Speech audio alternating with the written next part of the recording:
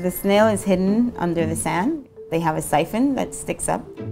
The siphon is kind of like a nose. It can smell if there's prey in the water. Then the proboscis comes out and it's kind of like a tongue. And on the tip of the, the tongue is a, a harpoon, which is filled with venom. And then when they harpoon the prey with the venom, their venom has things in them that will shut down everything basically in the prey. Blood sugar, locomotion. The prey then instantly becomes paralyzed. Its mouth or rostrum opens really wide and it will then engulf a fish or a worm completely whole. So the venom arsenal that nature has developed has worked wonderfully for millions and millions and millions of years. It's kind of been perfected.